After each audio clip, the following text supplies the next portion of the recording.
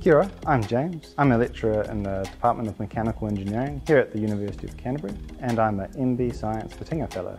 My research or my interest is in fluid mechanics. From my PhD I wanted to stay in uh, academia. I enjoyed the research uh, environment and the freedom to sort of uh, pick out and target things of interest to me and I stayed in the, the field of fluid mechanics looking at lava flow rheology which is important for volcanic eruptions to be able to determine and forecast how quickly these lava flows will disseminate from the volcano. From there I applied for the uh, Te Whitinga Fellowship so this was on a project of looking at the blood clotting and it has an interesting connection to my work during my PhD my PhD I have worked on silica scaling and uh, geothermal heat exchangers. So this is pipe flow. Our blood vessels are also uh, nice pipes and we have this plaque that builds up over time and this is quite analogous to our silica scaling and geothermal.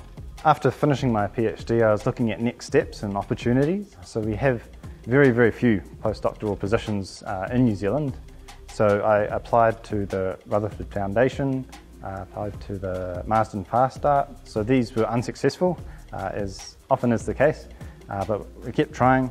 Fortunately, I was awarded this fellowship, uh, and that enabled me to, to plan for a two-year solid research project.